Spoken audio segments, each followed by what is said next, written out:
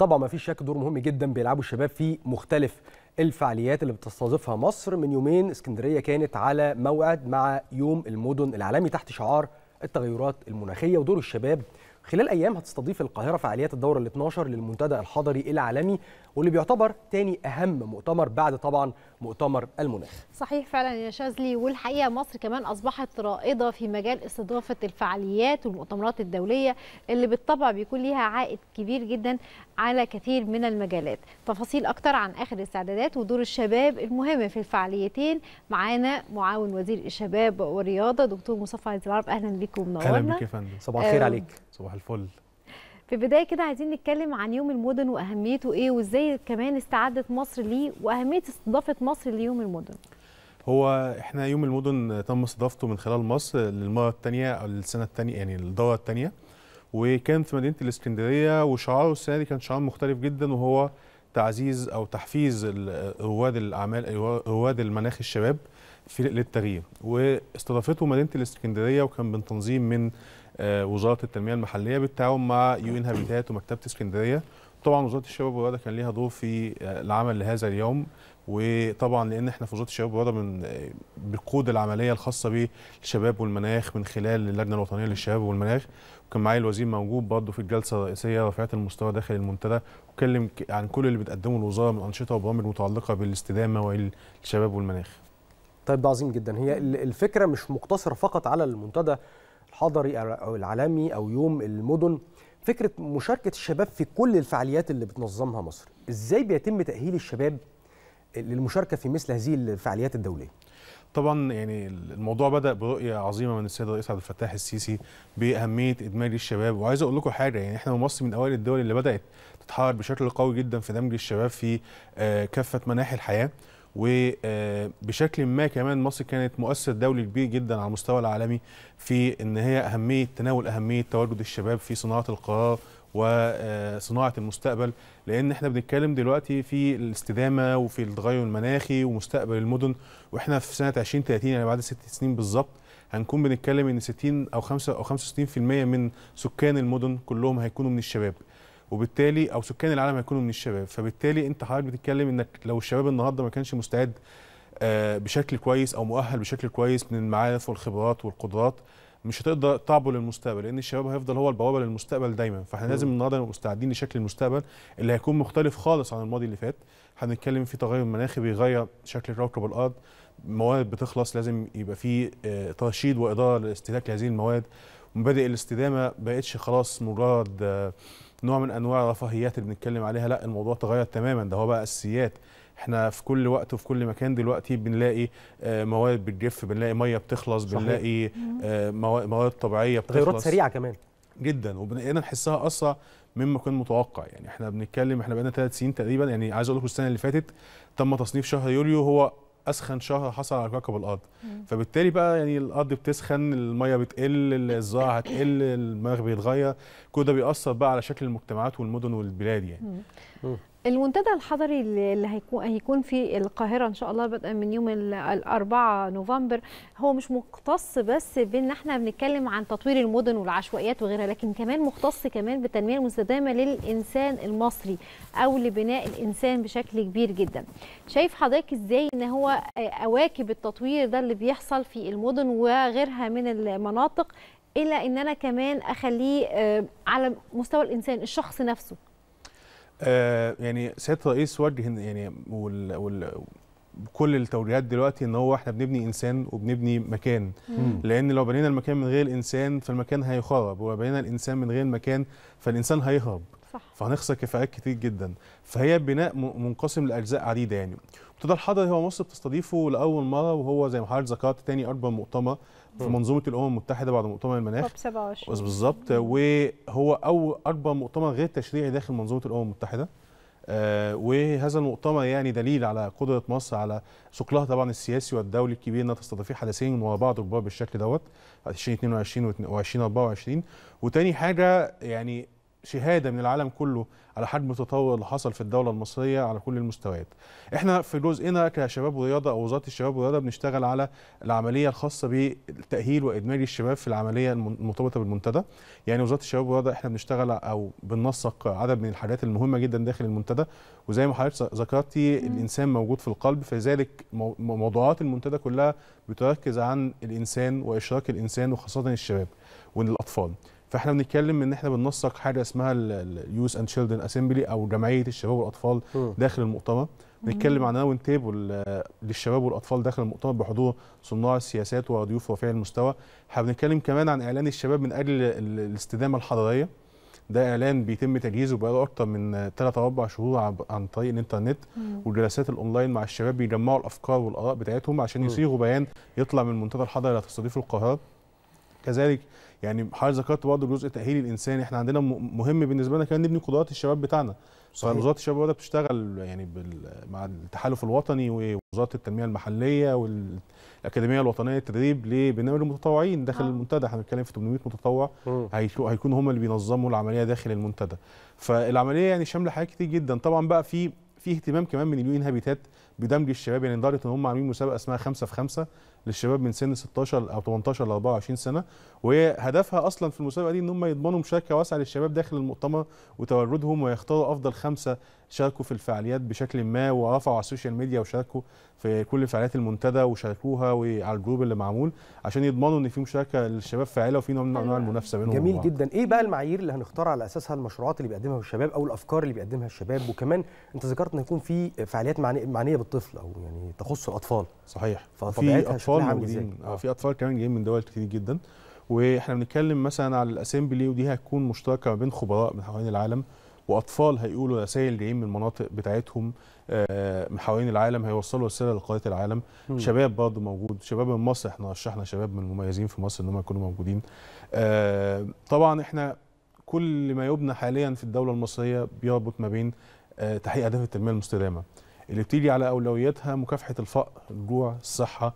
المدن المستدامة وتصنيع ومكافحة التغير المناخي الحفاظ على البيئة كل دي من أهداف الدولة المصرية ومرتبطة كمان بخطة مصر 2030 مم. آه، المستدامة اللي بيتم تحديثها أول بأول. فإحنا بنحط في قلب أي مشروع حاليا هو تحقيق الاستدامة لأن المواد بتقل. ولو أنت حضرتك خططت المشروع وهو مش محقق استدامته بمحافظته على المواد واستخدام المواد أو تقليل استهلاك المواد كمان المشروع ده بي- بيتراجع للخلف. وبنحط في الأولوية أو في قلب المواضيع الاستدامة بشكل كبير جدا يعني. حضرتك يمكن بنتحدث عن المنتدى الحضري إن هو هيكون في أكتر من 8 مشاركة أكتر من 38 دولة من دول العالم يعني. فأكيد هيكون في وفود من الشباب من دول العالم. هل بدأتوا إن إحنا كوزارة الشباب والرياضة تبدأ تنسق ما بين الوفود دي لتلقي الثقافات وزيادة الخبرات للشباب المتطوعين؟ دي دي حاجة أكيد مهمة جدا حضرتك أشرت ليها وإحنا بشكل ما يعني حريصين داخل المنتدى. آه، حابب أقول يعني بالنقطة دي إن إحنا عملنا حاجة اسمها ال future generation zone. ودي كانت مبادرة من الجانب المصري أو آه، آه، جناح الأجيال المستقبلية. مم. وجناح الأجيال المستقبلية ده هيكون مساحة كبيرة جدا داخل المنتدى لاستضافة الشباب من كل من كل دول العالم تبادل الخبرات ال- في جلسات هتحصل في في أنشطة مختلفة عشان تضمن مشاركة للشباب من حوالين العالم وعايز أقول لك كمان الع- العدد وصل أكبر من 38 كمان آه. وصلنا كام دلوقتي آه، إحنا أعتقد في من الدول ما يقرب من 100 137 دولة أو 140 دولة موجودين يعني يعني من وفود مختلفة كان وتمثيل. 131 من يومين صح آه، آه، كده آه، أيوه آه، هو آه. 38 منظمة 38 131 بالظبط. آه، فالعدد كبير جدا. والمشاركه الشبابية واسعة. وإحنا حاطين كمان في الخطة حاجتين. أول حاجة مشاركة واسعة للشباب. استغ- استخدام الرياضة في ال- التطور الحضري. يعني إحنا من الأهداف الأساسية للتطور الحضري هو توفير المساحات العامة والمناسبة لممارسة الرياضه لكل المواطنين أو كل السكان. ليه؟ عشان الرياضة هي نوع أو أداة مهمة جدا للصحة العقلية والنفسية لكل الناس خاصة الشباب. فممارسة الرياضة وتوفير الأماكن العامة والمساحات العامة الموجود فيها الممارسة دي لا دي حاجة كويسة جدا. ودي تاني شهادة للمصري. يعني إحنا عملنا طفرة كبيرة جدا في المنشآت وفي الطرق و- وكذلك في المنشآت الشبابية والرياضية وتخصيص الأماكن العامة لممارسة الرياضة دعم الفتيات لممارسة الرياضة. كل دي حاجات إحنا حققناها. على طريقنا وهي موجودة بالفعل في قلب الموضوعات المنتدى وأهداف المنتدى اللي هتستضيفه مصر إن شاء الله. طيب بالنسبة للمشروعات اللي قدمها الشباب في المنتدى أو اللي هيقدمها أو اللي هيتم عرضها آه. خلال المنتدى هل في آه، أفكار معينة؟ هل في خط معين إحنا ماشيين عليه في هذه ال- الأفكار؟ وهل إحنا عندنا قاعدة بيانات بالشباب المصري اللي عنده أفكار من هذا النوع؟ تمام إحنا ممكن الأول نقول عن قاعدة البيانات الشباب المصري. هو بالفعل إحنا في وزارة الشباب والرياضة بنشتغل بشكل ما على الكوادر يعني إحنا ب- هدفنا أو بنشتغل على كل فئات المجتمع. بس النوابغ أو الشباب اللي عندهم ملكات معينة إحنا بنحاول على قد ما نقدر يكون ليهم آه، نوع من أنواع متابعه الخطوات بتاعتهم. دعمهم لما يحتاجوا كل واحد ليه. فايل كده بالظبط تقريبا يعني إحنا بنحاول على قد ما نقدر يبقى في آه، رؤية للكوادر المصرية ودعمها كمان يعني إحنا بندعم الشباب في التواجد الدولي على في حاجات كتير جدا أو في حاجات كتير جدا يعني. آه تاني حاجة في النقطة الخاصة ب آه ما ما نضعه في الأولوية هو في مسابقة اتعملت اسمها عقول. وهي بالتعاون ما بين وزارة التنمية المحلية والزملاء في وزارة التعليم العالي وكذلك اليون هابيتات والمسابقة دي استهدفوا فيها كمان طلبة الجامعات من كليات تخطيط عمراني وكليات هندسة لتقديم أفكار ومشروعات وخطط لتطوير شكل المدن وإزاي نخلي المدن أكثر قابلية للمرونة وأكثر صمود قدام التغيرات اللي بتحصل يوم بعد يوم يعني ف. هيتم إعلان نتيجة ال- ال- المسابقة دي في داخل المؤتمر هيكون داخل المؤتمر في معرض كمان. المعرض دوت هيعرض كل المشروعات والأفكار سواء من شباب مصري أو شباب من حوالين العالم. هي يمكن مصر ليها جناح كبير جدا هيكون في هذا المنتدى يعني زي ما يكون منتدى داخل المنتدى أيضا. لكن تأهيل وت- وتدريب الشباب المتطوعين بقى تم إزاي؟ برضو لازم يكون تم على أعلى مستوى واختيارهم كمان تم إزاي؟ اولا بخصوص الجناح المصري هو فعلا الجناح المصري حاجة مميزة جدا وعايز أقول كمان إن في الجلسة الافتتاحية داخل المنتدى هتكون جلسة يقودها الشباب ودكتور أشرف صبحي هيقول كلمة افتتاحية ليها هي تبقى أول. جلسة يوم 4 الساعة 2 تاني حاجة بقى بخصوص تاهيل المتطوعين وهي عملية آه، قامت أو تولاها بشكل كبير جدا طبعا الزملاء في ال NTA أو ال- ال- التحالف الوطني والأكاديمية الوطنية الوطنية للتدريب ووزاره. الشباب والرياضة كمان بتتعاون معهم في تنسيق هذا العمل وهي العملية بدأت تقريبا من ثلاث أسابيع تم اختيار الناس وإبلاغهم آه، بدأ يعملوا لهم زيارات لل venue أو مكان تنظيم الفعاليات عشان يعرفوا. أكتر وعلى فكرة ال selection criteria أو ال- ال- ال- المعايير الاختيار كانت حاجة عالية جدا واختاروا نماذج كويسة إيه جدا. إيه يعني إيه أهم المعايير؟ أهم المعايير طبعا إن هو يكون فاهم هو إيه المؤتمر أهمية الحدث. مم. تاني حاجة يكون عنده قدرة تواصل جيدة مع مختلف الجنسيات ومختلف الثقافات. تالت حاجة يكون عنده بعض ال- القدرة على تنظيم مهارات قيادية. كل دي حاجات مهمة جدا في اختيار المتطوعين في أي حدث يعني. فبالتالي يعني الموضوع ماشي بشكل كويس وإن شاء الله شبابنا المصري هيبقى مشرف كالعادة يعني. أكيد. طيب ده جميل جدا. ال ال في شباب جديدة بتظهر. يعني في شباب اوريدي زي ما أنت قلت إن إحنا عندنا قاعدة بيانات وعارفين كل الناس متميزة في إيه بالظبط. ده بالنسبة للناس الموجودة حاليا. إنما في دفعات في أجيال جديدة من الشباب. إزاي بيتم العمل على اكسابهم المزيد من التعرف عليهم في البداية وإكسابهم المزيد من المهارات عشان يكون عندهم أفكار تخدم المجتمع؟ يعني حضرتك يعني مسك مسكت لب الرياضة المصرية وهي الثروه البشرية في مصر. م. مصر عندها من القدرة على ال- الأجيال المتعاقبة بشكل متميز كبيرة جدا ودي حاجة أنا شايف إنها آه، من أهم ما يميز مصر يعني على المستويين المحلي ال- ال- الإقليمي والعالمي. م. والشباب المصري متجدد بشكل دائم ومختلف عشان كده الموضوع ده بيضع علينا مسؤولية كبيرة جدا إن إحنا نكون أول بأول عندنا مراحل استيعاب لهذه لهذه الفئات أو هذه المجموعات من الشباب. وده بي بيخلي شكل البرامج عندنا متنوع جدا في الوزارة م. عشان نضمن إن إحنا قاعدين نوصل لكل ال- الشباب من كل المناطق. لأن فرصة الوصول دايما مش فرصة متساوية فإحنا بنحاول نحقق التساوي دوت آه، بشكل لا مركزي كمان من داخل المحافظات. من خلال البرامج اللي بنقدمها. إحنا عندنا قدرة وصول لكل قرى مصر تقريبا. إحنا هنتكلم في 5000 منشأة حوالين الجمهورية بت- بتديرهم وزارة الشباب والرياضة ما بين مراكز شباب ما بين مدن شبابية ما بين مراكز ابتكار وتعلم شبابي. فبسلسلة كبيرة من البرامج إحنا في الوزارة بتنفذ في السنة تقريبا 350 ل 400 برنامج. وبرنامج يعني مش حاجة بتحصل وتخلص لا دي بحاجة مستمرة أقل حاجة 3 شهور 4 شهور كل سنة. فبنبقى قادرين إن إحنا بشكل ما الشباب يلاقوا طريقهم من داخل أنشطة وزارة الشباب والرياضة. وإن هم يقدروا يوصلوا للفرصه اللي موجودة اللي إحنا بنحاول. نقدمها.